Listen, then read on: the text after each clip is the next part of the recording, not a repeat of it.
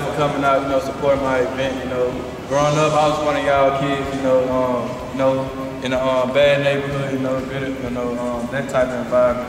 You know, just you know, free things. You know, just come back to the community. You know, give back to y'all. You know, that's, that's big on my end. Um, you know, you know, I love, I love um, my city. You know, the way y'all support me. You know, when I'm down in Baton You know, I always look on Facebook. I see you guys. You know, um, one of my mom's pictures. You know, that support me. I read all those things, by the way. So you know that that um, you know just motivate me, you know, keep me going, you know, to um, do this type of event. You know, things gonna get bigger, um, you know, when I.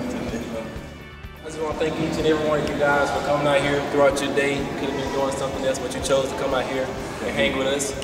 So I just want to say thank you guys again. And it's always good giving back, man. You know, growing up, we have too many people come back and give us something for free. We all know that it's free. So I just want to thank especially my parents, you know, in Salvation Army, and the Boys and Girls Clubs for helping us put this thing together. And without you guys, we won't be able to give it away because we won't have nobody to give it to. So I just want to say thank you guys again. And I'm very grateful for you guys' support, you know, and let's have a good time. And we can take pictures and play basketball over there one of your kids think y'all can beat me. But uh, all. And uh, let's sign some autographs, man, take some pictures and have a good time and enjoy this evening. Thank you all.